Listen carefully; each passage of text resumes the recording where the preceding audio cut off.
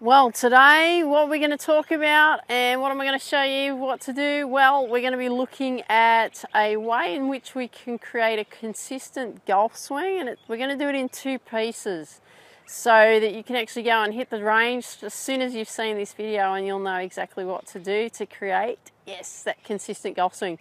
So don't go anywhere, I'll see you in a memento.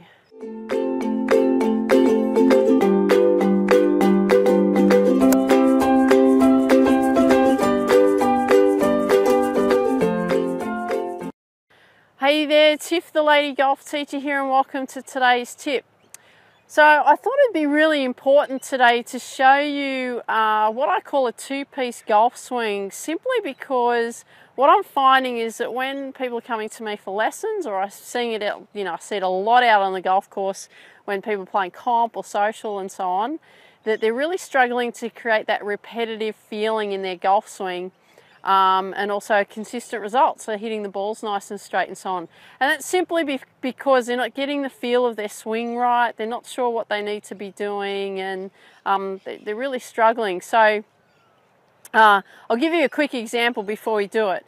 So if somebody was to come and have a have a hit, you know, and play golf, because that's what we're here for, aren't we? For golf and someone to play play the ball. And, and, what tends to happen is when they get excited or when they get anxious or when they get nervous or whatever, what tends or you know, and like things start to even come together and we do, we get really excited about our shot.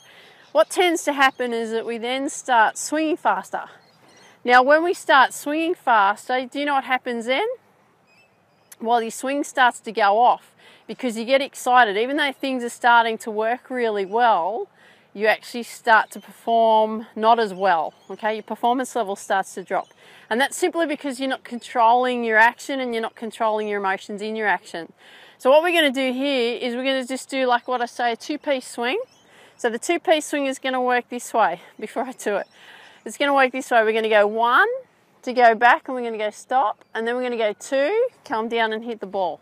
Okay, but just nice and slow. So we're creating that favorite word in golf, which is consistency, okay?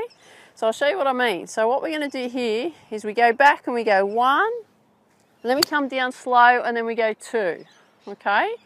But the thing is, is that we don't wanna go any faster than that because what happens when we go faster than that, once we've created a nice, easy rhythm in the swing, we start to lose the swing and we wanna recreate the same feel again, right? So we'll do it again. One, two, okay? And then what we've got is we've got a very, very similar golf swing. We've got a very, very similar result with the ball. Okay, so you saw the first two swings, right? So what you saw was that there was a, a nice back one, and then we had a nice easy two. And what we want to do is we want to make sure that we're repeating that over and over and over again. Okay, that's our two-piece golf swing nice and easy. I want you to go out and practice that out on the golf course. So what I'd love it if you could do is leave a comment down below and share with me what you liked best about what you saw today in today's video and also that you're going to go and hit the range and go and practice. I'd love to hear what you have to say about that and how your results went.